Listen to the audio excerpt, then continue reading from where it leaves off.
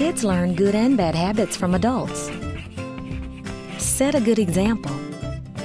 The choices we make can influence the choices our kids make, including whether or not to use tobacco products or other addictive substances. Visit healthactionpartnership.org for more information on getting active and staying healthy. This healthy tip is brought to you by Jefferson County Health Action Partnership.